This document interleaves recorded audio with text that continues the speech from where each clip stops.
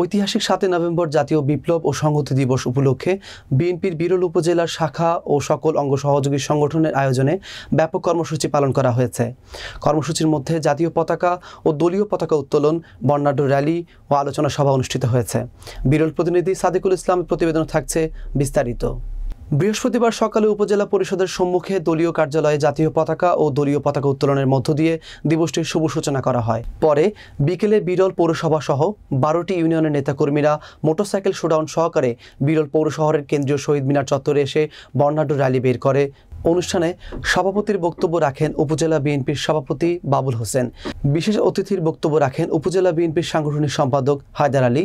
উপজেলা বিএনপির সহসভাপতি অ্যাডভোকেট আব্দুল বাকি, উপজেলা বিএনপির সদস্য মোস্তাফিজুর রহমান আক্কারুল, উপজেলা বিএনপির যুব বিষয়ক সম্পাদক রুস্তম আলী, উপজেলা যুব দলের যুগ্ম আহ্বায়ক জাহিদ হাসান বুলেট সহ আরও অনেকে বক্তব্য রাখেন।